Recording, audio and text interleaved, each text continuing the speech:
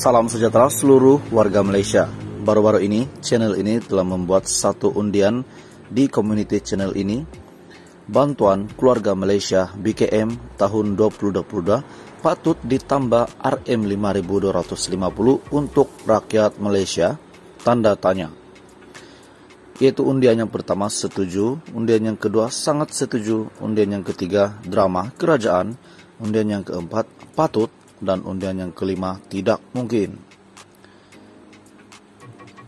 Undian ini telah mendapat 2000 undian, yaitu untuk dibahagi kepada peratusan 5 undian ini, 75% bersetuju untuk bantuan keluarga Malaysia BKM 2022 ditambah RM 500 5250 untuk rakyat dan yang kedua undian sangat setuju sebanyak 13% drama kerajaan 7%, patut 1%, dan undian yang terakhir tidak mungkin sebanyak 5%.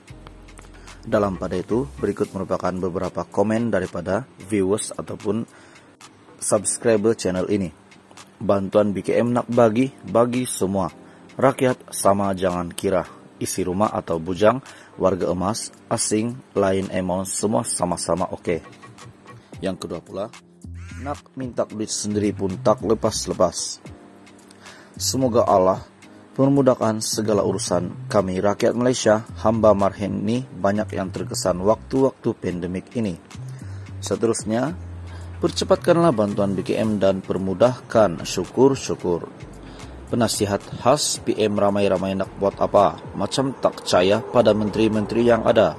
Duit penasihat tu boleh bagi kat rakyat. Ini pun rakyat masih tak nampak ke. Tekan lonceng je lagi bagus. Dan ada satu lagi komen.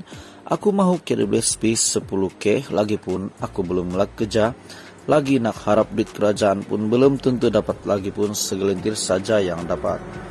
Berikut merupakan satu ujian yang dibuat oleh channel ini di mana pertanyaannya adalah bantuan keluarga Malaysia BKM 2022 patut ditambah 5.250 untuk rakyat Malaysia. Terima kasih Malaysia kerana menonton.